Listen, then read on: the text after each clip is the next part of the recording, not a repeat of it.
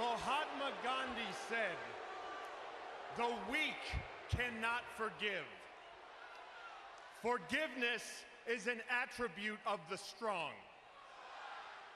That being said, I'd like to clarify something. This past Sunday, in the Money in the Bank ladder match for the World Heavyweight Championship contract, it was every man for himself. All of you knew this. And despite what all of you have been saying, and despite what all of you have been chanting, I did not screw Cody. Which now begs the question why did my best friend do what he did this past Monday on Raw?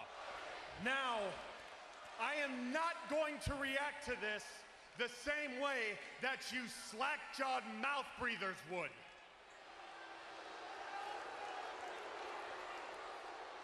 I am not going to come out here and condemn Cody. I am not going to come out here and spit hateful rhetoric in his direction.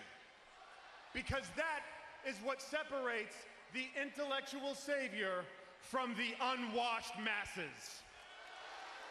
What a great man. That is what separates knuckle dragging half-wits from a beacon of enlightenment like myself. Silence! Cody Rhodes and I are both gentlemen. Cody Rhodes and I are both civilized. And most of all, Cody Rhodes and I are still best friends.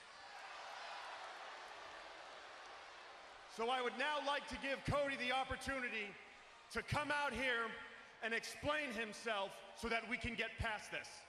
Cody, on second thought, no explanations necessary. I just want to look you in the eye and tell you man to man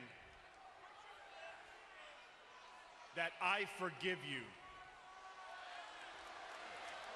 That's noble. I forgive you for acting out in anger. I forgive you for what you did to me. I forgive you for everything.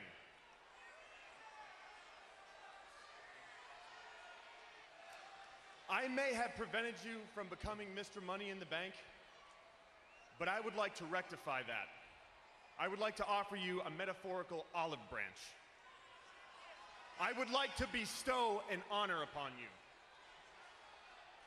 The honor of being protector of the case.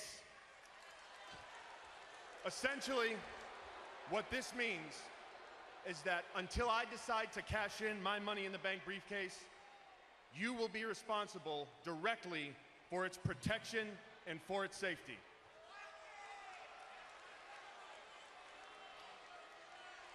Cody, you've earned this.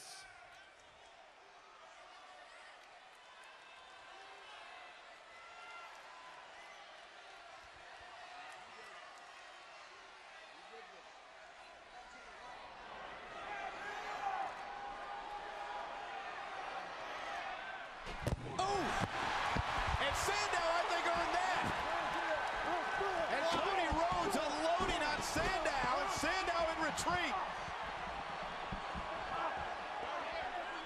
Why would Cody do that?